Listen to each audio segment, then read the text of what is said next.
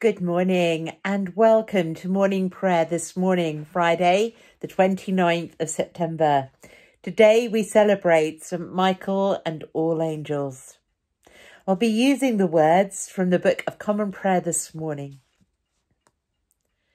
O Lord, open thou our lips, and our mouth shall show forth thy praise. O God, make speed to save us. O Lord, make haste to help us. Glory be to the Father, and to the Son, and to the Holy Ghost, as it was in the beginning, is now, and ever shall be, world without end. Amen. Praise ye the Lord. The Lord's name be praised.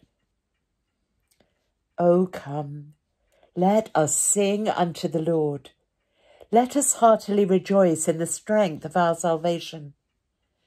Let us come before his presence with thanksgiving and show ourselves glad in him with psalms. For the Lord is a great God and a great King above all gods.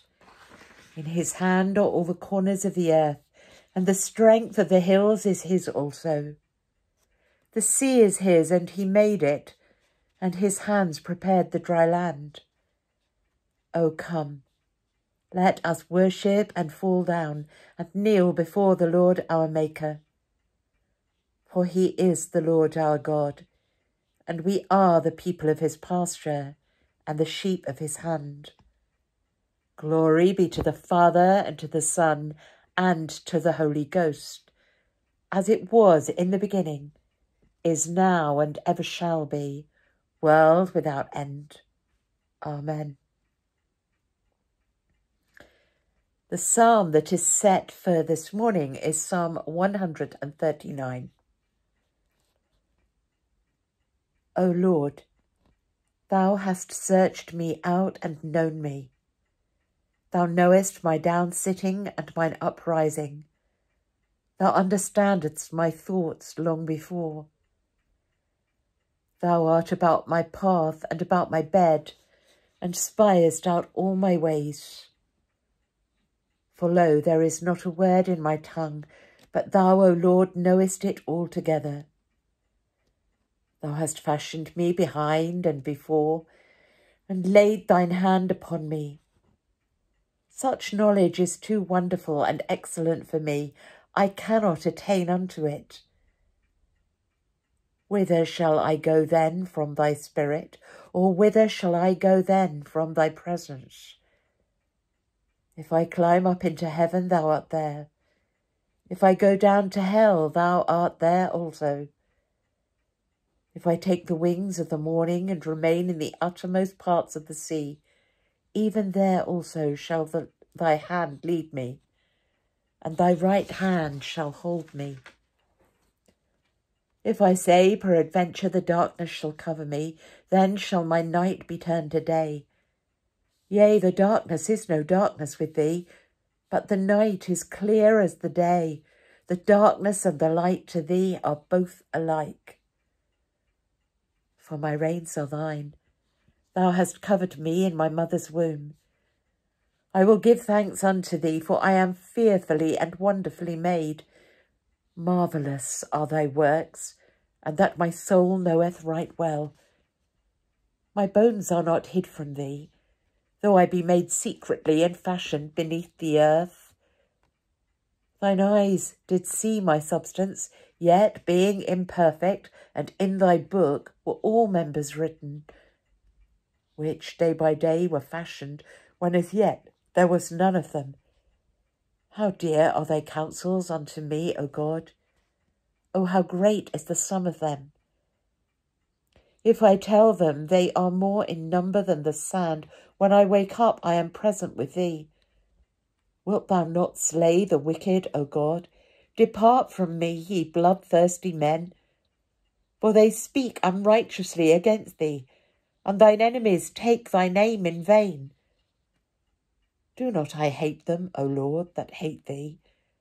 And am not I grieved with those that rise up against thee? Yea, I hate them right sore, even as though they were mine enemies. Try me, O God, and seek the ground of my heart. Prove me and examine my thoughts. Look well if there be any way of wickedness in me, and lead me in the way everlasting. Glory be to the Father, and to the Son, and to the Holy Ghost, as it was in the beginning, is now, and ever shall be, world without end. Amen. And our Old Testament reading today comes from the book of Tobit, chapter 12, verses 6 to 22.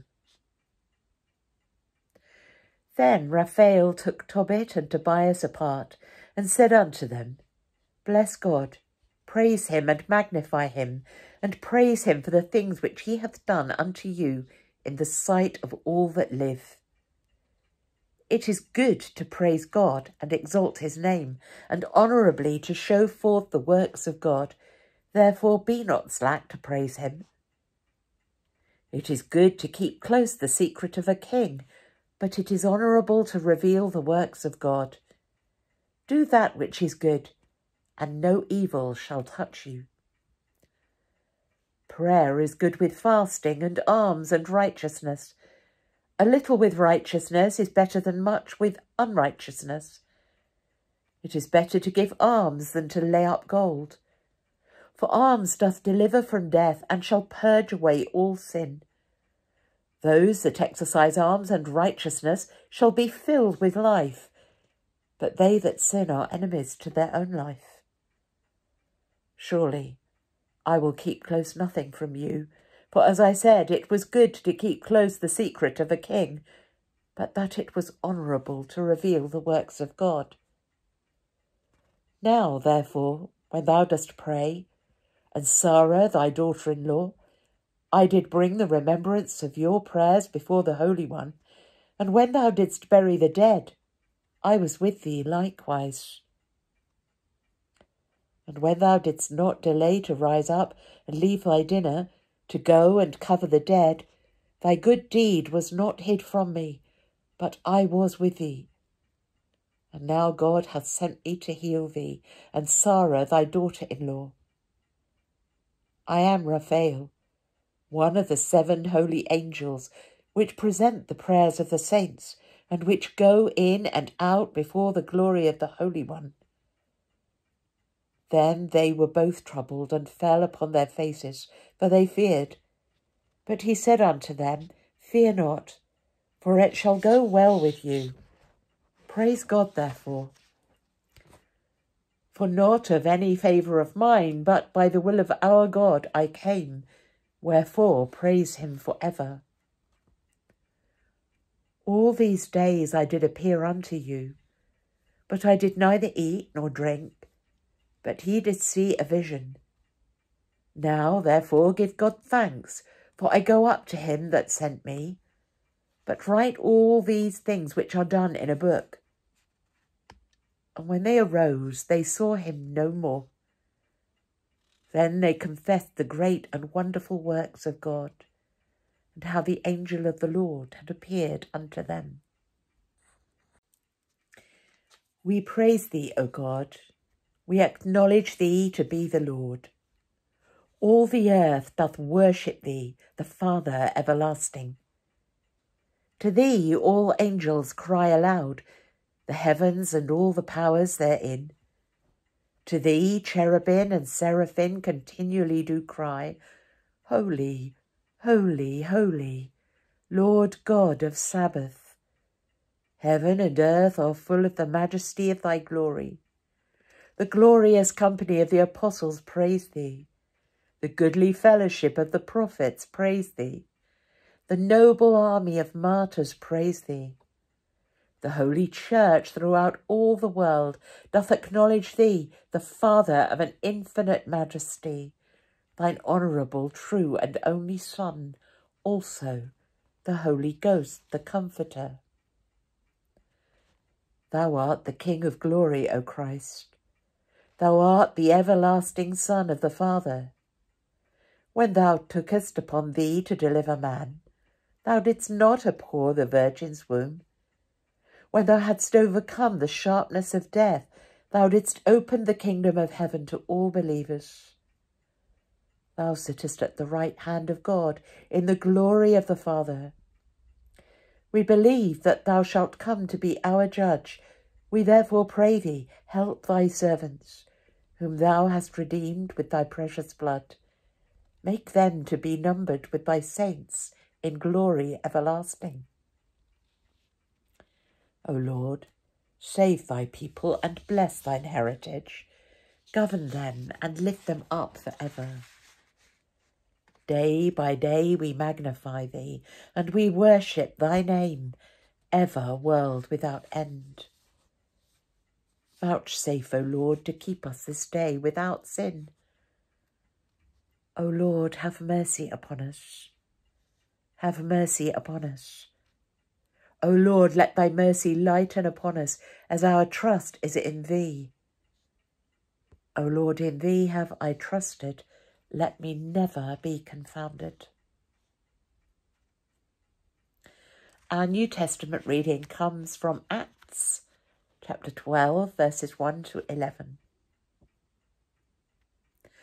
Now, about that time, Herod the king stretched forth his hands to vex certain of the church. And he killed James, the brother of John, with the sword. And because he saw it pleased the Jews, he proceeded further to take Peter also.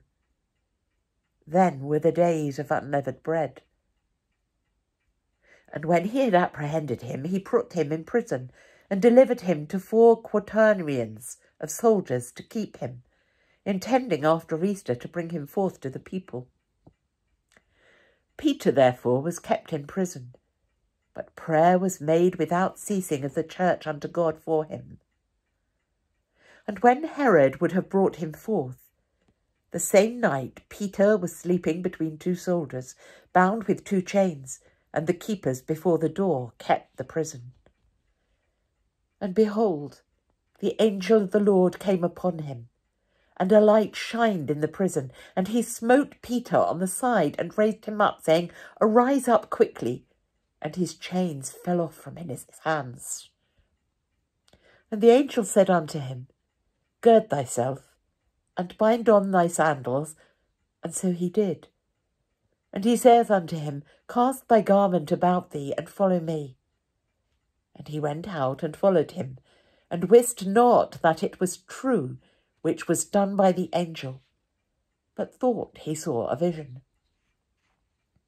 When they were past the first and the second ward, they came unto the iron gate that leadeth unto the city, which opened to them of his own accord.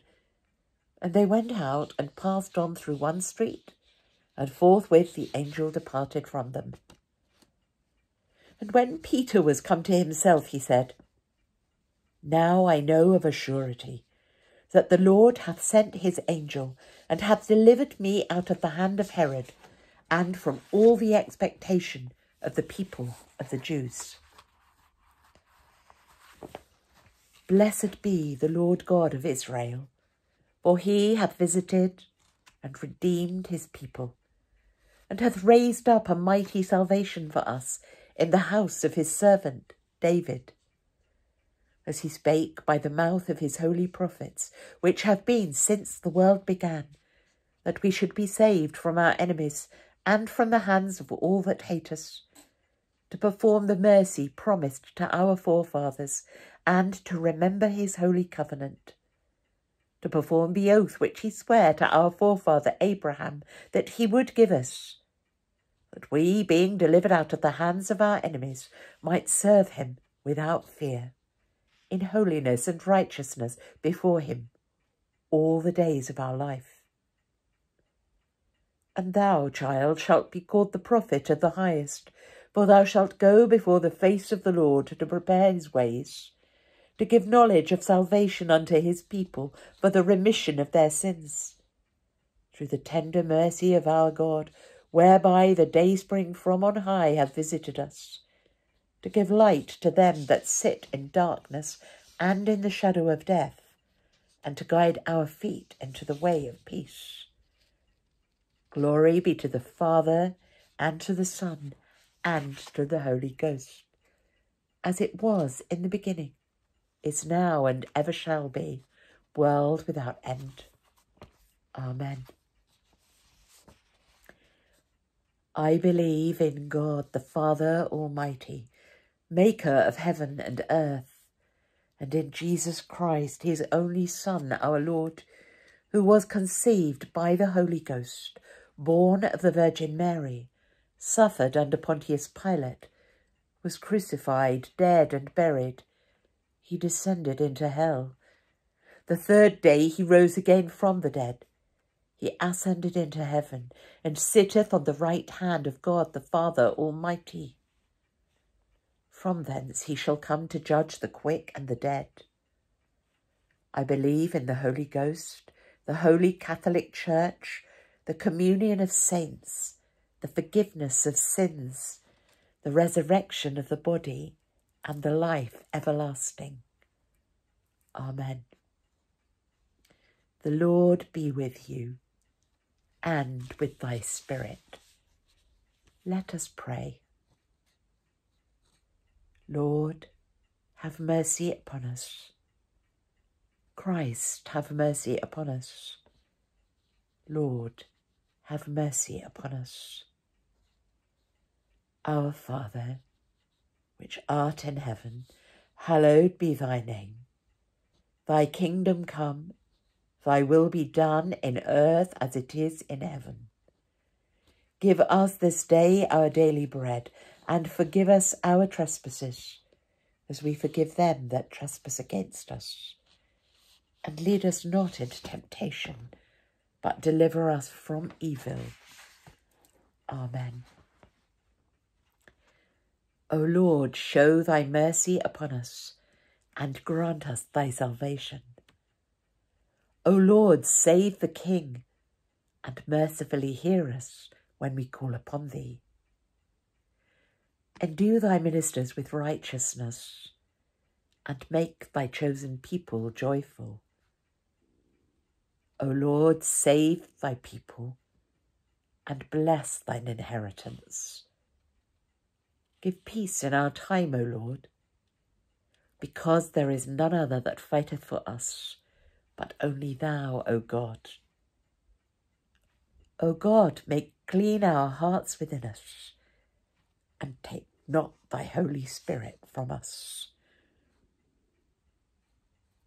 O everlasting God, who hast ordained and constituted the services of angels and men in a wonderful order, mercifully grant that as thy holy angels always do thee service in heaven, so by thy appointment they may succour and defend us on earth, through Jesus Christ our Lord.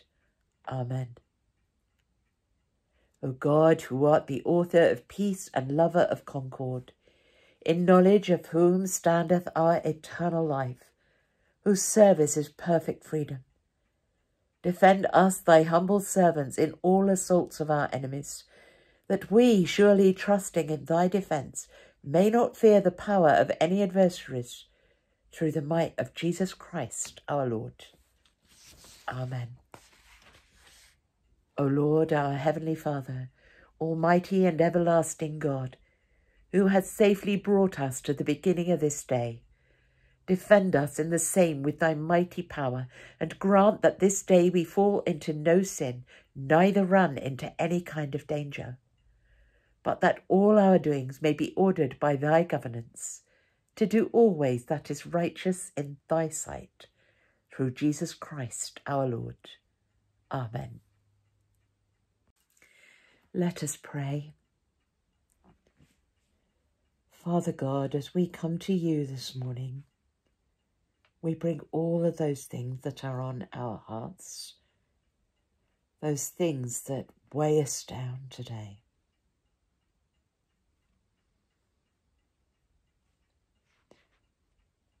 We pray for all of those people who deal with the aftermath of the Moroccan earthquake. We ask that the supplies and everything they need will be delivered to where it is needed.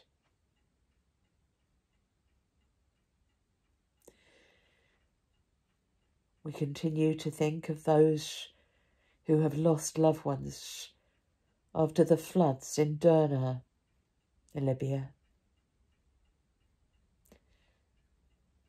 We pray for over 43,000 people who've been forced from their homes after these floods. And we pray that their urgent need of food and drinking water will be supplied to them.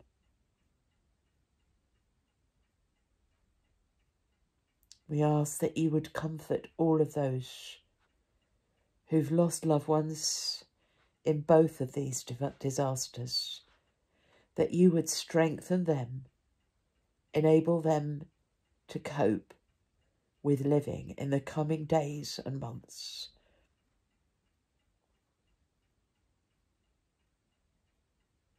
Father, we continue to pray for the countries of Ukraine and Russia, and we ask that the fighting between these two countries would cease, and that the governments and leaders would come to a true and lasting and righteous peace between them.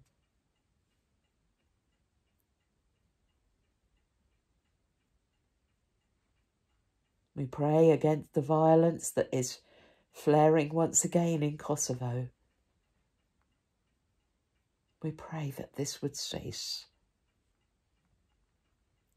And also the heavy fighting in Ethiopia. Father, we pray for this too to stop. in all of the places around the world where there is unrest, where people rise up against other people. We ask that you would bring your peace to these places.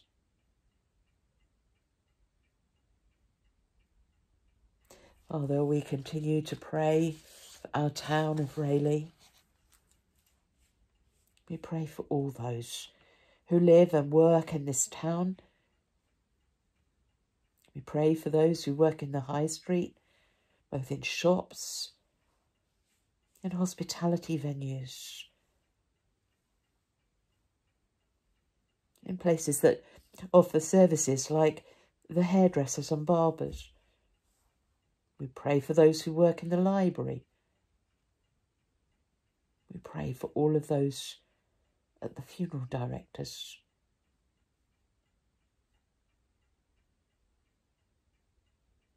We pray for our local police, for those who work in the fire station. And we pray for all of the paramedics and the ambulance drivers who work in our town and locally.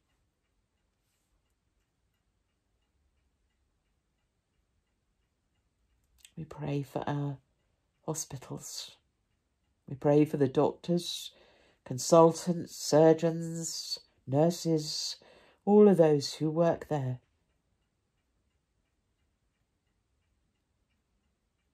Treating those who are sick and injured. We pray for all of those in hospital at the moment being treated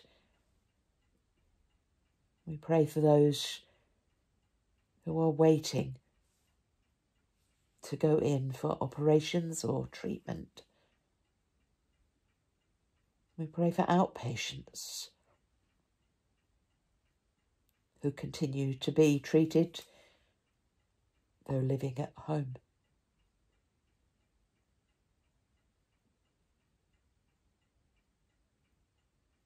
We pray for our GP surgeries for all of those who work there. And we think too of those who who service in the town, our, our postmen, and those who keep the streets clean and tidy, the street cleaners, and those who collect our rubbish.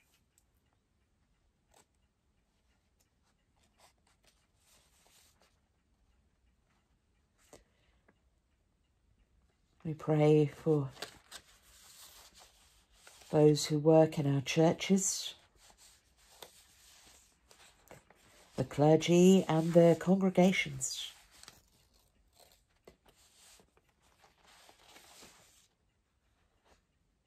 Who together pray for your kingdom to come to our town. We pray for our schools,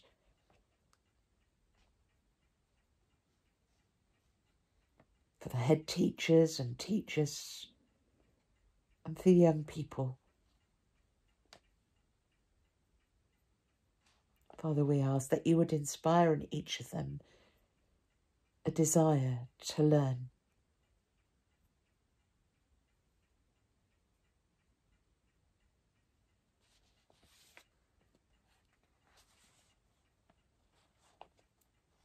Father, we think of all of those who we know at the moment who are unwell.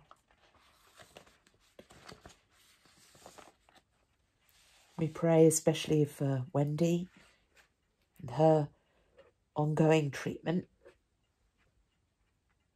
And we ask that you would bring her healing. And we pray too for Stephen. Pray that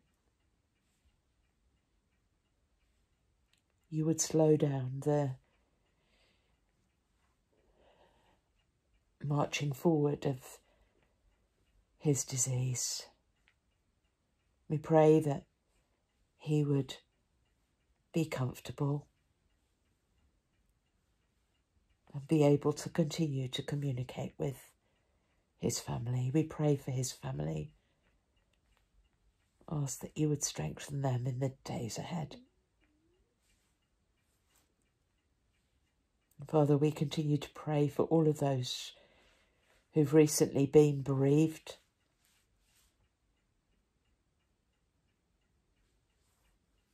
Those who miss their loved ones and those who have to deal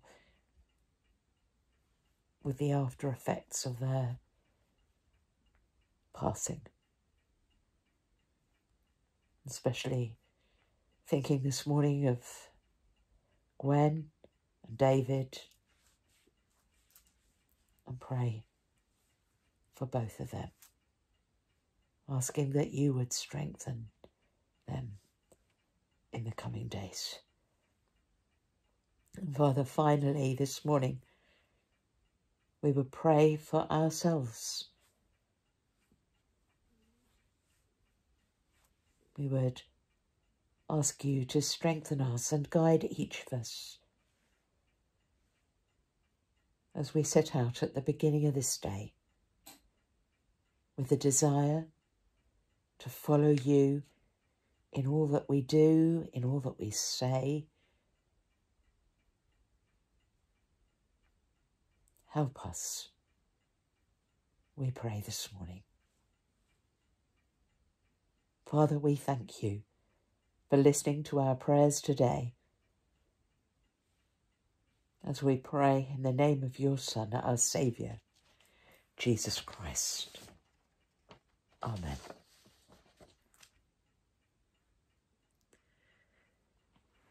The grace of our Lord Jesus Christ and the love of God and the fellowship of the Holy Ghost be with us all evermore. Amen. Thank you for joining me this morning. It's been lovely having your company. I shall look forward to seeing you again very soon. Have a lovely day. God bless. Goodbye.